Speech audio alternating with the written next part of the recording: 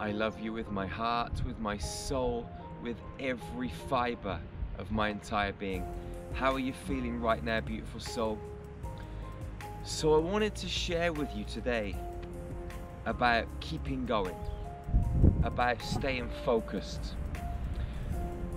I was running a workshop at the weekend, and a, and a gentleman asked me, Jerry, how is it you keep going? When you're defeated, when you're down in the gutter, when everything crumbles down on top of you against all odds, where do you get the energy from? How do you keep going in those situations? You see, in life, being challenged is inevitable. Being defeated, on the other hand, is optional. It's a choice.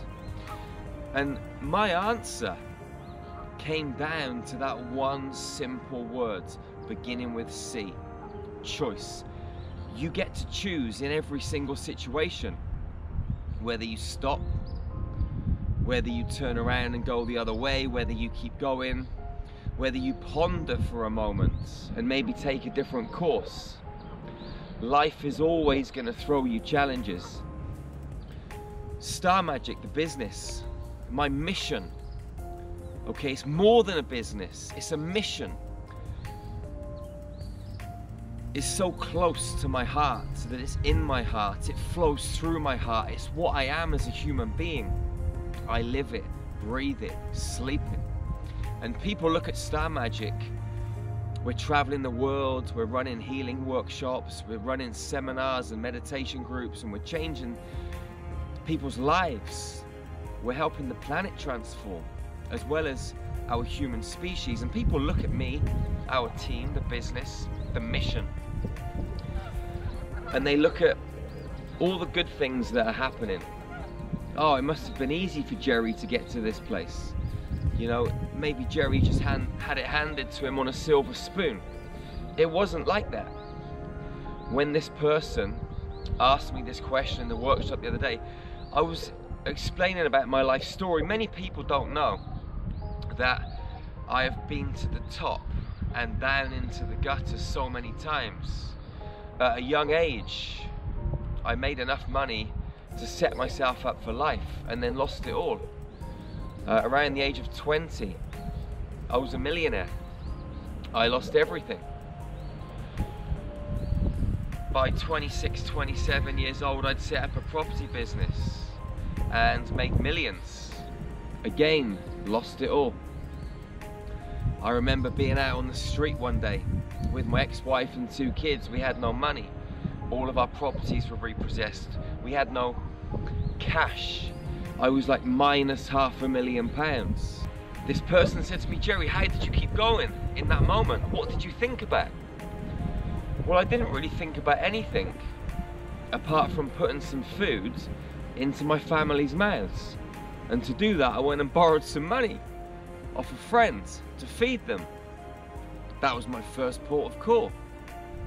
I actually went back to my old criminal activities after that and started selling drugs again, amongst other things, because it was quick money. I didn't once think I'm never going to get out of this situation. I never felt defeated. Yeah, it was a nightmare. It was hard, it was tough, but not once did I think about quitting or stopping.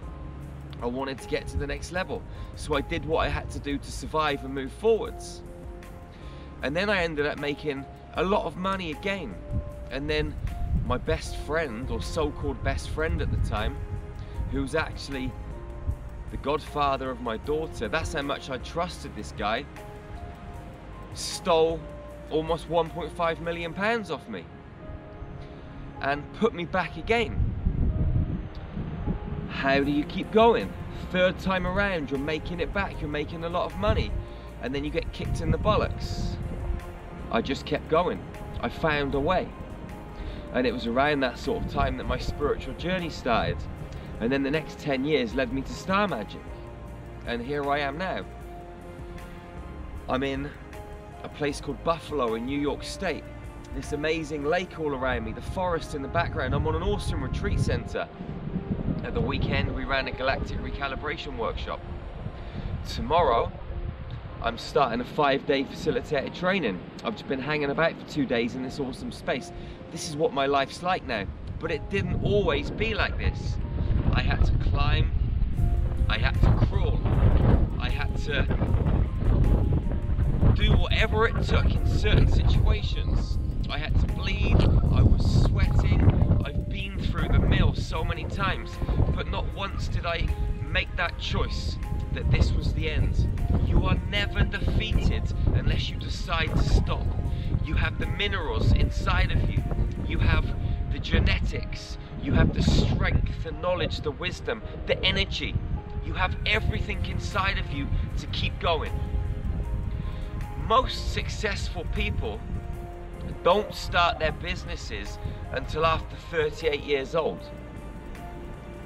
Most successful businesses don't become successful until they've been in operation for 15, 20 years. It takes time to build and you've got to go out into the world and you've got to make mistakes. And they're not really mistakes, they're just stepping stones and blocks to help you build the foundation of who you are, to get to know yourself, your strengths, your weaknesses, what makes you, what breaks you, what qualities you have. And you can bring those qualities into a big bag of tricks, and then you can use that big bag of tricks as you get more knowledgeable and wiser to put them into something solid. And that's what I've done throughout my life. I just make that choice to keep going and find a way. You can do the same. Being defeated is a choice. It is an option. I don't choose that option and neither should you. You're an extraordinary, powerful human being. A spiritual being enjoying this human experience. Well, you should be anyway. And if you're not, go into your heart and connect. Don't connect out here connect in here. The outside world can't help you, but you can help yourself. You truly are amazing, and I love you unconditionally. Decide right now, before anything comes into your path, that you're going to find a way. You're going to climb, you're going to run, you're going to crawl, you're going to jump, you're going to go around, over, under, through, whatever it takes. And as you do, you're going to grow, you're going to thrive, you're going to become more of who you are. It's the journey that makes you, man. It's the journey. Because when you get to where it is that you wanted to go to, no one's ever really satisfied. It's a benchmark. You stay there for a little while and acclimatize, and then you get bored, and then you go to the next level. And that's what keeps people alive. That's what keeps people growing. That's what helps people live and live and live. It's only when you stop that you fall apart. I remember my nan. She worked until she was 80. She used to get up in the morning at five o'clock, walk into town. It was a three mile walk and she'd clean old people's homes. She was an old lady. She'd walk back in the evening. She did this five days a week. She stopped when she was 80. There was nothing wrong with her, but she decided to stop Six months or so later, she got a bad hip. She had a replacement. Six or so months later, the other hip went. She was dead within two or three years. When you stop, you're dead. Keep going. But don't don't keep going because you do it from fear. Do it because you want to keep growing. Do it because you love what you're doing. Find your life mission grow into it, evolve into it, let it flow through you. Let your physical body, your energy body, your emotional body, your spiritual body, let all of you become your mission. Breathe, eat, and sleep it, beautiful soul. You are a powerful being, and I love you unconditionally. Please subscribe to this YouTube channel. Share these positive videos with your friends and your family. If you're watching it on Facebook, like it and share it. Together we can change this world. Together we can transform humanity. We're a family, we're a tribe, one frequency, one code, one force. Love is the answer. Love is the key, love is the question. This will take you everywhere, your life compass. Check out starmagichealing.com. I'll see you again real soon, beautiful soul. One love, one heart, one human family. Peace out.